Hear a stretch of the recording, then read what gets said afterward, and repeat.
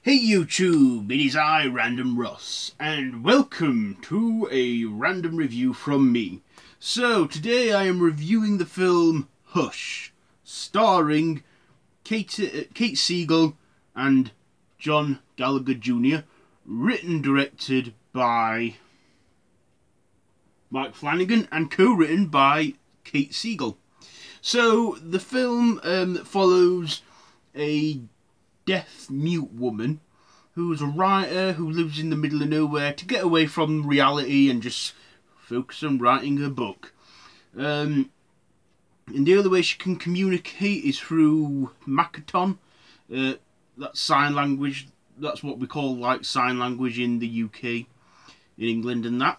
Um, so yes, she plays um, a, a, a deaf mute woman called um, Maddie, who is just you know minding her own business, cooking up some dinner, and then one of her friends pops by. Um, they they have a bit of a chat. Fire alarm goes off with the light flashing because she's deaf. It's something she needs to see, um, and stuff. Anyway, um, as the evening goes on, we discover that there's a stalker now this is a home invasion film, alright? So it's like You're Next and um, what else? Um, Mother's Day uh, and stuff. Home invasion film.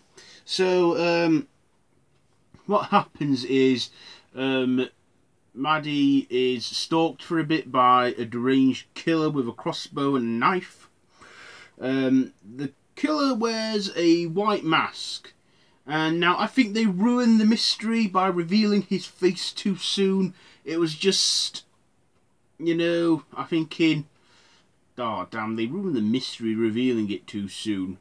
Um, this film is about is a short. Well, it's not long. It's about eighty minutes long, uh, and it's streamed on Netflix uh, a few days ago, I think. Um, yeah, Netflix, um, worldwide. Uh, because a few YouTubers that I know on here, uh, the Buff and Beyond and Spooky Astronauts, they've seen it. Uh, she, uh, Emma, Spooky Astronaut, she says that Australian Netflix don't show uh, much horror films on their Netflix. I have a whole horror section on my Netflix in England, so I don't know what's with Australia, but you know. It's a shame, really, if you're a big horror fan and you're Australian. Anyway, back to the review.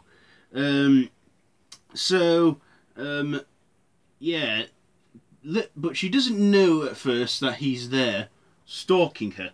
He's like tapping on the windows. He's walking in, making noises behind her, but she can't hear him. She can lip read. Anyway, she's then he then gets her attention, and then she's fighting for survival, trying to, you know, fight her way through. Um, she can't communicate with anyone because of you know she can't phone someone for help and that because the killer he sneaks in takes her phone cuts off the power so she's just on her own and he kills you know her friends. I don't want to give too much away about it all but yeah it's like thinking you, you're rooting for her for the entire film. Now the actress kate siegel i know she isn't deaf really because she talks in her head. Her character speaks in her head and has a voice that speaks. And then there's like these whole visions of like, what if I do this? Will that happen? If I do that, that's going to happen. You know, but it's it's really good. It's a it's a suspenseful film. It just had like 15 minutes of, of dialogue. Um, but yeah, she um, it's just all like I said, suspense builds in it and stuff. And you're really rooting for her to get out of this and overpower the nutter that's trying to kill her. Um, what is the killer's motive? We don't really know why he's stalking her, why he wants to kill her and that. Uh, but I can tell you that they confirmed a prequel for this film. I looked it up. They've confirmed a prequel which will reveal the killer's backstory, uh, who he is and everything, and why he kills and that. And that's going to be um, John Gallagher Jr. reprising that role in the Hush prequel. I don't know what's going to be called yet. It might be called Hush 2 or Hush the Beginning or something. It might be something completely different, uh, title completely different, but they are doing a backstory on the killer that'll be out next year. Probably stream on Netflix. Uh, so, Hush. Um, was it a good film? Yeah, I thought it was good.